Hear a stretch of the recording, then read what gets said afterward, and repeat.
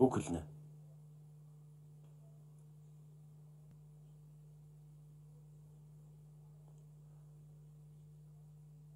За баярлалаа. За юуны өмнө мэрэгжлийн ийм сайхан баг үрдүүлсэн ерөнхий сайдаа баяр хүргье.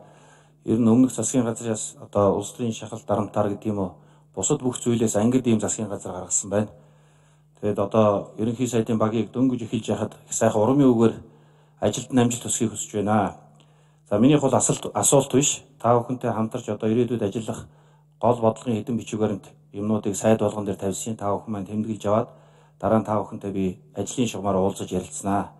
За манай ерөнхий сайдын нэг хэлдэг сайхан үг байдаг. А хямрал бол боломж юм а гэж. Би бол одоо энэ ковидын үеийн эдийн засгийн нөхцөлийг боломж гэж харж байгаа. Та бүхэн маань энийг боломж болгож Монгол улсын эдийн засгийг хөгжүүлэхэд одоо үнэтэй хувь нэмэр оруулах ийм удирдагч шилдэг ийм боловсон хүчин байгаараа гэдгийг энэ ажил авч байгаа өдөр ерөөхдөө хүсэж байна. За соёлын сайд чулуунгаа бол одоо түүхийн том эрдэнэтэй хүн.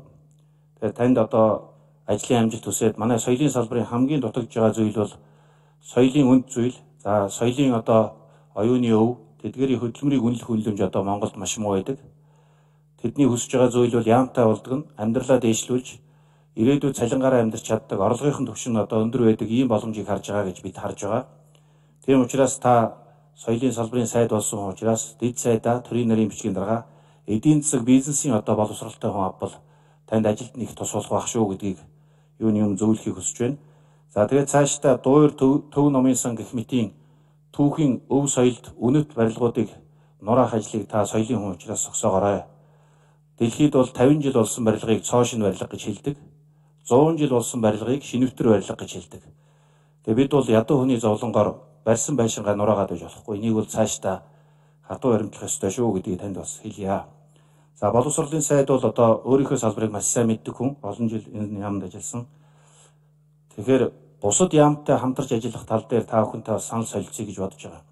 За боловсролын сайдыг бол мэрэгжлээ мэдэх учраас та зөвхөн боловсролын талаасаа биш Улаанбаатар хотын төвлөрлийг бууруулах гол сайдаа гэж би харж байгаа. Яагаад гэвэл өнөөдөр жил болгон 130-аас 140 мянган оюутан Улаанбаатар хотод маань нүүж ирж байна. Хөдөө орон нутагт маань ерөнхий боловсролын одоо асар олон боловсон хүчин мэрэгжилтэй багш нар одоо тэтгэвэр тараад ажилгүй сууж байна.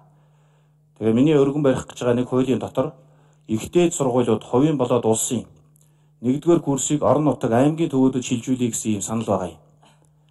Та ажилдаа орохдоо энэ 130-аас 140 мянган нэг удаагийн одоо эсэлтээр орж ирж байгаа оюутнуудыг аймгийн төвөдөд байршуулах юм бол аймгийн төвөд маань хөгжих юм том боломж гарах юм аа ажлын байр бий болно. Аймаг орон нутагт одоо багш нар ажилтаа болно. Цаашлаад хотын соёлыг аймагтаа сурчаад ирдэг ийм олон сайхан залуучууд гарна гэж харж байгаа. За эрчим хүчний сайд бас салбартаа их сайхан ажилласан залуу байна. Танд ажлын амжилт хүсье. Гэхдээ өмнөх сайдууд шиг одоо уламжилт ажил гэхээсээ илүү шинэлэг зүйлийг барьж авбал таны одоо нэр хүнд ажил их сайхан явах би харж байгаа. За энэ дээр эрчим хүчний экспортын асуудлыг та онцгой анхаараарай гэж бизнесийн хүний хувьд би өсөж байгаа маа. Манайд одоо эрчим хүчний нүүрсний ордууд маш их байна. Өнөөдөр лиценз зарагдахаас илүү борлуулалт байхгүй хэмжээнд очсон байгаа. Хил дагуу байрлаж байгаа эрчим хүчний орд газрууд дээр цахилгаан станц барьж за зүү Аз, хойд Аз болон өмнөд хөрш рүүгээ одоо экспорт гаргах энэ бодлогыг тууштай дэмжиж шинжилэн гаргаж ирээрэй гэж танд хүсэж байна. За эгийн голын усан цахилгаан станцын асуудал манай намын мөрийн хөтөлбөрт орсон байгаа. Саян Сушилский гэж одоо Оросын том усан цахилгаан станцын сүлжээ байдаг.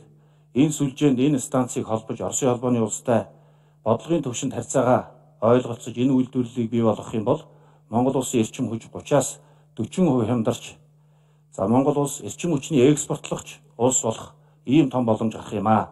Энийг та анхаараарай. За уул уурхайн сайдад таны одоо салбарт чухал зүйл бол нефт нефтийн бүтээгдэхүүн байгаа.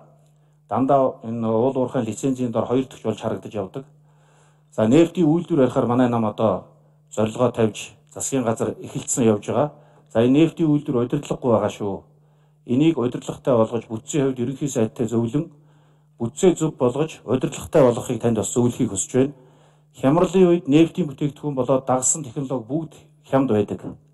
Та маш яаралтай хугацаанд энэ нефтийн үйлдвэрийн техник технологиг худалдаж авах багийг ерөнхий сайдын доор юм уу шадар сайдын доор хийж энэ үйлдвэрлэлийн ажлаа хурдан эхлүүлэх юм бол бид 1 тэрбум доллараар биш магадгүй 800 сая доллараар барих боломж байгаа гэдгийг танд бас сануулъя. За дээр нь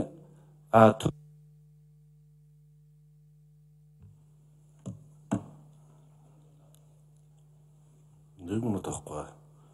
За, хэм гүшин Бадарчин жаргалмаа.